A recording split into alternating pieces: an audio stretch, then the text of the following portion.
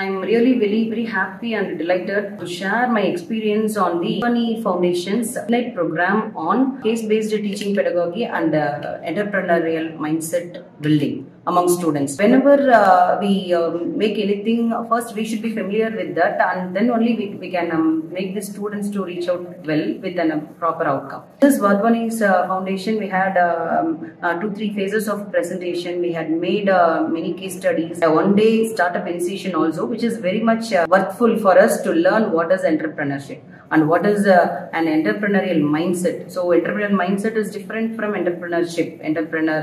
I had a great opportunity uh, to learn very basic things and which are very important uh, to be good entrepreneur and to make a right startup. In our first presentation, we had most more generic presentation, more generic case study. But in our second presentation, really we have chosen good, from good concept like a career